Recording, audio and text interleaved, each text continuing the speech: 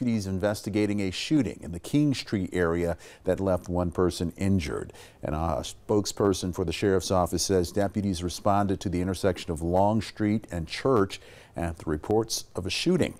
The victim was near Janice Loop when someone shot them.